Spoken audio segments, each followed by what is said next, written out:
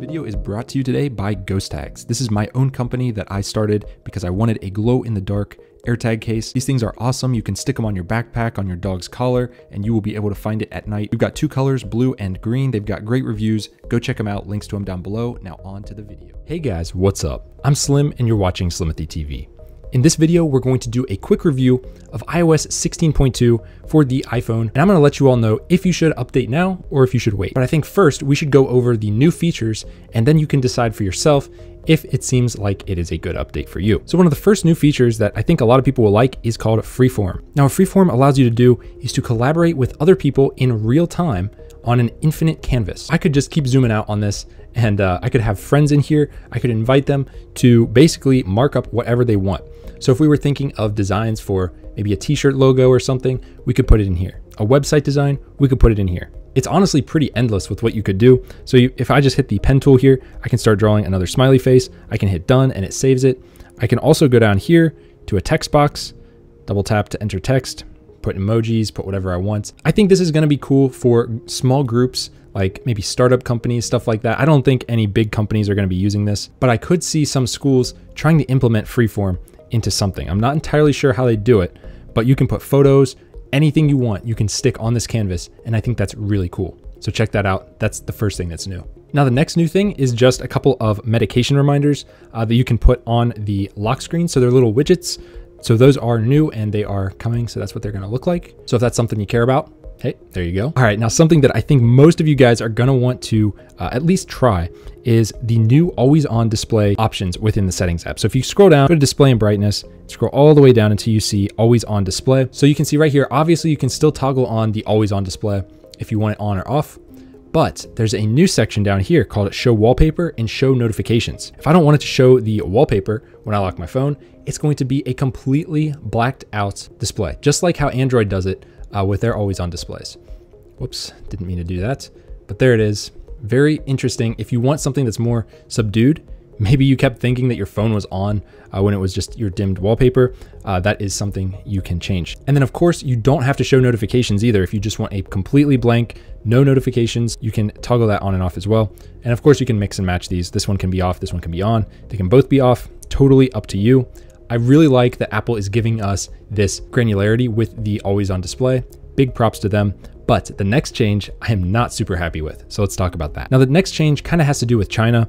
Uh, Apple went ahead and listened to the Chinese government and first implemented this there, uh, where the airdrop receiving for everyone is no longer allowed to be set for everyone. It's only allowed for everyone for 10 minutes. Now, the theory is that China asked Apple to remove the everyone feature because a lot of protesters were um, sending information to each other that way. So they set it to 10 minutes only to basically inconvenience all of the public people that were trying to protest. I don't know how true that is, but there could be some truth to that.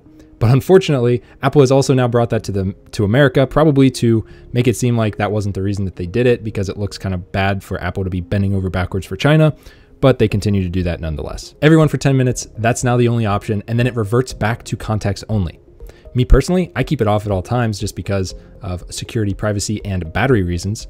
But for you, if you want to keep it on contacts, that's totally cool. But you can no longer change it to everyone forever. You'll have to keep enabling this.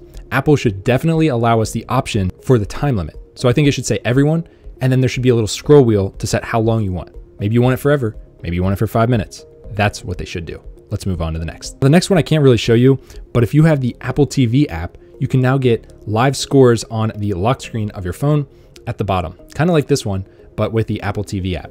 So that's something that's coming as well. So be on the lookout if you care about that. In the same vein, there is a new option to allow more frequent updates for live activities. Apple does warn it could drain your battery a little more, but they will update these a little bit faster if you want. Me personally, I think it's just fine the way it is, but hey, to each their own. If you've got an Uber coming, you want it to be updated ASAP, so that might be something you want. And lastly, another thing I can't really show you is the home app has been improved. The underlying architecture has been uh, completely revamped, so it should be better performing as well as a little bit faster. Now, a couple minor tidbits. I believe there will be some security updates for you guys as well. So when you do update, you will get those. On top of that, there is code uh, to stop the unintentional SOS uh, calling because uh, some people, when they got on a roller coaster or went skiing, their iPhone 14s were actually calling emergency services thinking that they had been in a crash. So Apple has been tweaking this. And when you get this update, it should fix a lot of that. And lastly, if you are in India and you have an iPhone 12 or newer, you should have access to 5G networks in India. Uh, so that is something that they've included. But that's pretty much it, guys. Now, of course, I should answer the question should you guys update to iOS 16.2?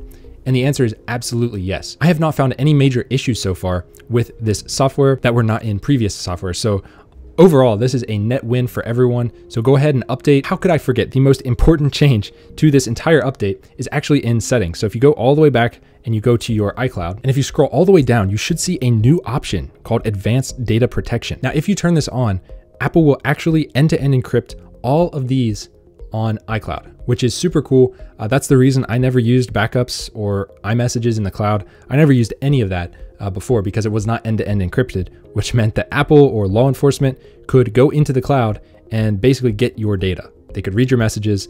It was not good. So, uh, creepy and definitely an invasion of privacy, or at least it was possible. Now it should not be possible. Now, there's more to come on this because we need to really vet this and make sure that this is really doing what it says it will. But if this is true, this is huge for Apple and end to end encryption is awesome. So, me personally, of course, I will be enabling this, but you'll want to read through that on your own. But this is coming in iOS 16.2 and it should roll out through the end of the year. So, you might not be able to enable it right away. Anyways, that is all for this iOS 16.2 review. Very good update. Highly recommend it. If you like the video, hit it with a big thumbs up and subscribe for more videos because we've got a lot more coming. I'll see you guys in the next one. Peace.